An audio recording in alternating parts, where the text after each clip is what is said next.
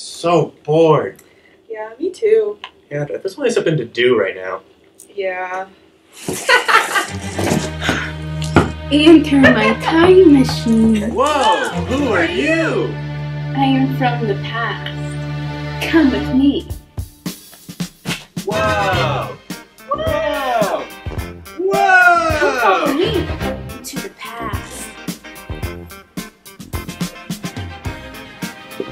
Whoa! Where are we? We're at the Union Fieldhouse for Flashback Friday will be happening on Friday the 13th.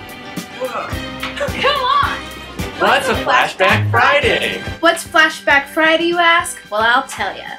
There's going to be two roller rinks playing all the hits from the ages. The 70s start at 7, the 80s start at 8, and the 90s are at 9. Every decade is going to have its own costume contest with prizes for the best female and male costumes. Did I mention all the free stuff? You can decorate your own fanny packs and slap bracelet. We are also giving out Rubik's Cubes. If you can solve it before the event is over, you can get entered into a raffle to win a special prize. There's going to be some super groovy props with the photo booth.